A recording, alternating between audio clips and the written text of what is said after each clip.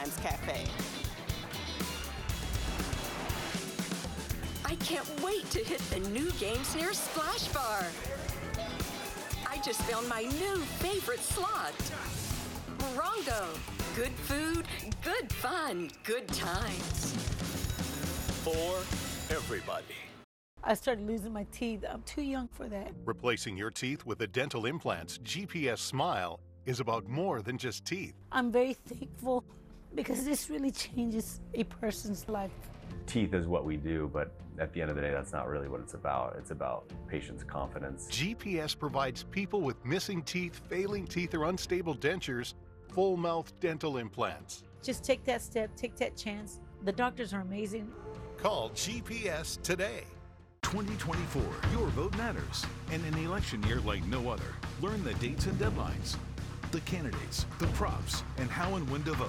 All your questions answered. Your one stop election spot.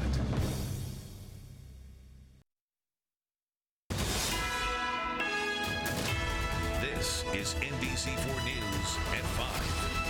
Good evening, and thank you for joining us here at 5. I'm Jonathan Gonzalez. And I'm Kathy Vara. It has been a wet start to the weekend here in Southern California, and up north, a major blizzard. Conditions impacting roads and ski resorts. Let's get right to meteorologist Stephanie Elmo, who's tracking the storm in your first alert forecast. Stephanie. Right now, we're checking out this live shot here of downtown Los Angeles, where here in this area, we are pretty quiet. We have some quiet spots. We're dealing with that on and off showers as we continue today.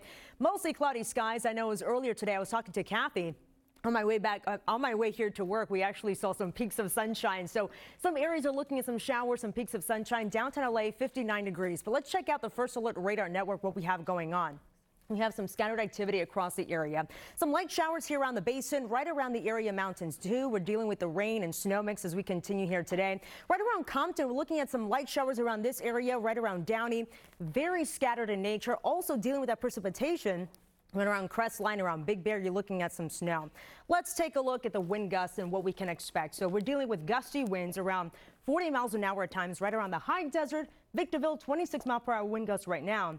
High wind warnings remaining in effect at this time. We have winter storm warnings in place. You see the areas in pink from Big Bear to Wrightwood. We're looking at some snow here as we continue here today. And as we head into tomorrow, we have dropping snow levels right around 4,500 feet as we head into tomorrow. So a reminder, avoid those passes as we continue here today. Here's what we can expect. So for the rain, on and off as we continue. The gusts, we can expect those gusty conditions at times. Snow levels will be changing yet again, right around 4,500 feet as we head into tomorrow. We'll time it out for you coming up here in just a bit for now. Back to you. Stephanie, thank you. Meantime, the massive winter storm is making travel nearly impossible up in the Sierra Nevada mountains you can see conditions out there right now, plenty blowing. It is blizzard-like conditions out there. This is actually a shot of Mammoth as well. Kathy. Well, officials are warning everyone not to travel to the area this weekend. Interstate 80 completely closed because of the heavy snow we've already seen.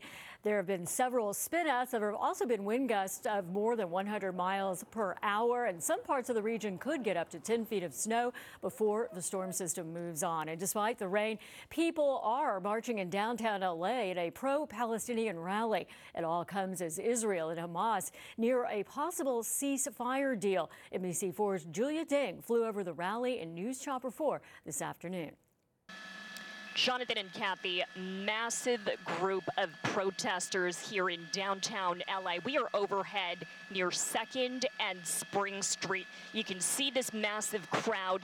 They don't appear to be marching or we can't hear any chanting, of course, from overhead, but a close-up shot of these signs and banners and flags they're holding show signage here saying things like hands off Rafah, end genocide and free Palestine. Now, early reports indicate several thousand people here in downtown. Traffic impacts up and down both Spring Street and Broadway. We are not hearing any indication of uh, vandalism here, um, and there does not appear to be any sign of counter protesters. We are overhead in News Chopper 4.